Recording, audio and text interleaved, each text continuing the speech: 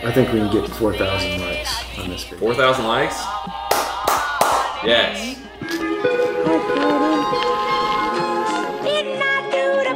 Well, that was neat. I like that trick. Say some words. Some words. Does this camera make me look prettier? Probably not. Can it? oh, because it's really high def. Why do we all have water bottles? I'm thirsty. All right, guys, what's going on? Welcome back. I don't know if this is gonna shake the camera a little bit because it's on a sketchy tripod. But welcome back to a video with my parents. I posted on my community section asking you guys to ask my parents some questions, and uh, I'm gonna read through them now. But what should they do before watching the video? Smash the like button. So, starting off with the questions, first we have Blake Fitz. Not really a question, but I just like your mom to come clean about your dad being a giraffe. Then hopefully you can meet him and have a relationship with him one day. Huh? Do you pay attention to any of the memes, Dad? Like at all? No. For some reason, I'm known as like a giraffe. I was a crab, and now I'm a giraffe. So like, my dad watches, but he's not like. I'm not an enthusiast. A stalker like your mom. Yeah, I feel like my mom is more like involved with the memes and will know like some of the memes that are going on. My apologies. Mixer asked, "What did you think when Colin did not follow the traditional route of going to college and getting a traditional job once mm. finished with school?" I'm actually curious. What do you guys think? Like when, once that was happening, I know I, I remember telling you, Dad, and Well, I'm an engineer.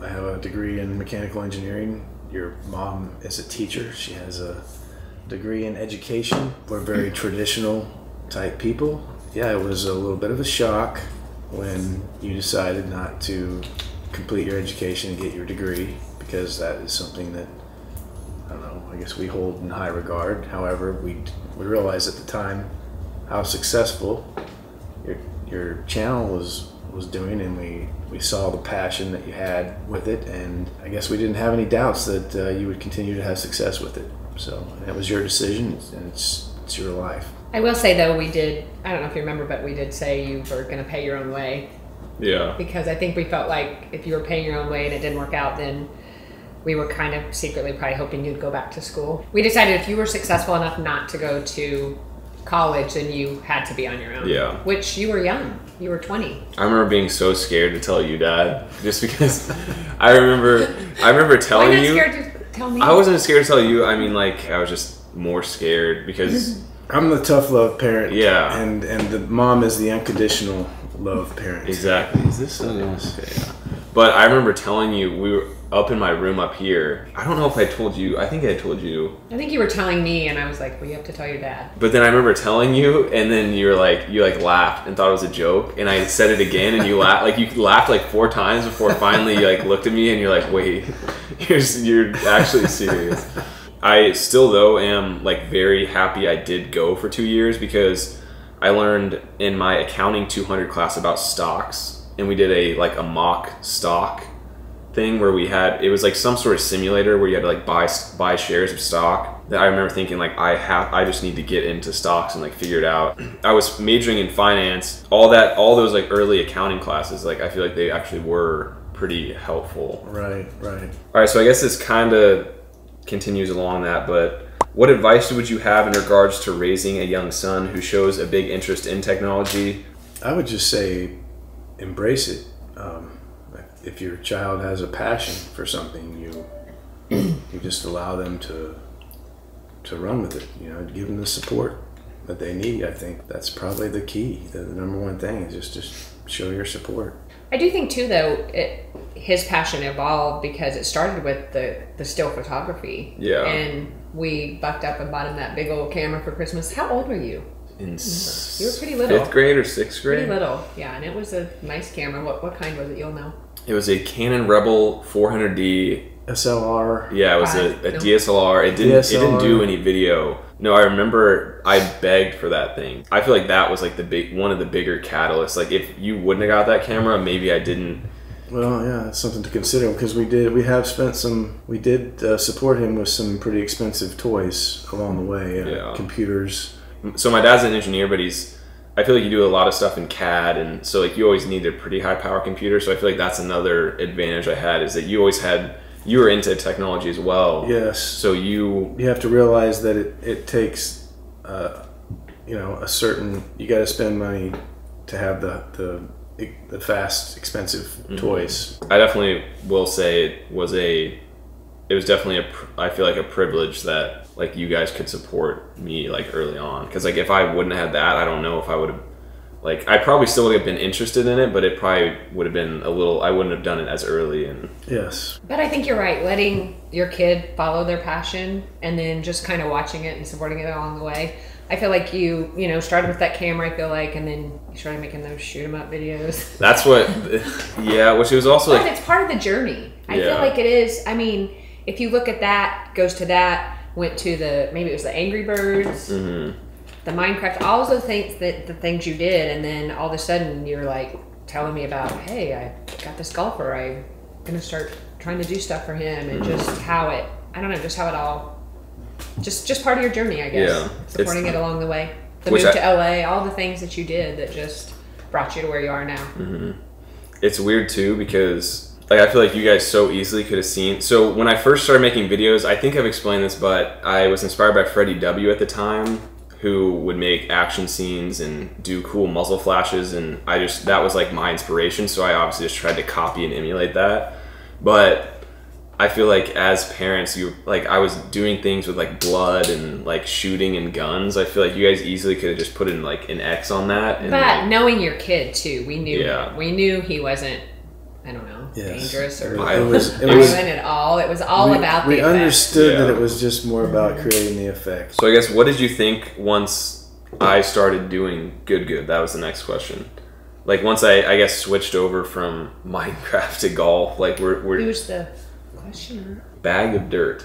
Bag of Dirt wants to know. I will say that I was concerned um, because the uh, CC Mega Productions was his bread and butter, and it was keeping him going uh, financially. My concern was giving that up, um, knowing that that there would be a, a drop, and then having to start over and and and rebuild another channel. Um, I from a financial standpoint, I guess that would be that was my only concern. But I understand that you know you started that CC Mega Productions at, at an age where that was where your passion lied, and then as you've gotten older, you can't. You don't you, don't can't- want to make Minecraft videos. Yes. For the rest Once of you once you get to your mid twenties making Minecraft videos, just running around the park and- it doesn't provide the same satisfaction as it did when you were younger, and so you had to. I realized that you had to make a transition over to something else that was more along your age and passion, and I mean you've you've always been into golf, hmm so yeah, I guess that would be my biggest concern. Yeah, just that knowing you needed to make a change again because you just kind of have to evolve Evolve. with things. But yeah, a little nervous with just you know the newness of it, I guess. The good thing is with golf, you can pretty much stick with that Yeah, that's for, for like a long life, time. Yeah, that's right? a I mean, lifetime. you could go. Your dad doesn't know about the good good golf memes of them when they're old, like the guys when they're. Oh yeah, yeah, yeah. I'll put a couple pictures up. There's Garrett's. Holy cow! It's weird how like realistic they are. That's the It is. Oh my gosh. the Matt one actually looks really good. Let me see. Oh my Oh, puppy. Bubbie's pretty good. That's hilarious. Is it true that your son is memes of destiny? I kind I don't know much about it, to be honest with you, but I kind of, on the outside looking in, I feel like he is because that's the that's the kind of statement that, that Colin would make. What? Just the fact that it's memes of destiny. That's that's like a phrase that you would use. Something something of destiny. That, that's like one of your My own dad just turned me in. Ladies and gentlemen, we got him. I think he is not memes of destiny. How old are your parents? They look young. Jeez. 51. 51. Both of us. Why does your dad look like a Joe Rogan Tom Hanks face swap? Wait,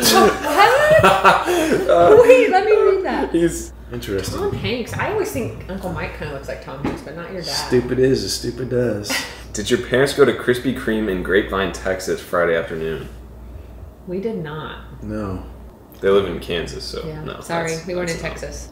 Was Colin a good mistake or planned? Oh, He was. He was a. It was a great thing to That, happen. that one's going to be We were edited- young, though. that- We that were would only, be like, edited 25. out. Is your dad mad you haven't become a jacked softball destroyer? I don't know how this person knows that So my dad actually is a professional softball player. Not professional. It's not. What? Yes, it He doesn't get paid. Well, okay, he doesn't get paid, but he's on He like the top at the ten softball level. team in the whole United States. He's a beast. Well, I guess one difference between Colin and I is I I've just always had to do go out and do physical things. I, I lift weights. And I still feel like at one point in my life, I will hopefully work out consistently. It's hard right now with Good Good and like schedule, and I feel like I, which it's probably not good also, but I feel like I've always prioritized working a lot over health, which is not good. And it's also not like I don't have the hour in like the morning if I would wake up and just go to the gym. I, I like I have that time, but I've always prioritized Getting your work done first. getting work done versus working out, which and is actually, if not you good worked long out, term. if you worked out like your dad, you'd probably be bigger than your dad because you just are I don't know, and- bigger. But anyway, to answer that question, I think I, I've always put a more of a balance on everything, my work and my trying to uh, take care of my, my body. And I think that that's one one of the things that, that is probably difficult as a YouTuber is probably from the outside looking in, you don't see how much time it takes, and it takes an awful lot of time to uh, to create these videos. Um, there's a lot more to it than I think that people see because all they see is the finished product, and and uh, Colin spends spends lots of uh, early morning, late late nights. Anyways, hopefully you guys enjoyed this little Q and A. Hopefully it was kind of cool to see, I guess, my parents' perspective on the whole YouTube thing and good, good, and all that. But if you did enjoy this video, smash the subscribe button. I'm currently racing Garrett to 100,000 subscribers, so I need all the help I can get. Smash the button. It's right here. It's right here somewhere. Just click the button. Wait, wait. Actually, you guys should look mad. I'll be like surprised. It, it's for the clickbait. I mean, You're punching.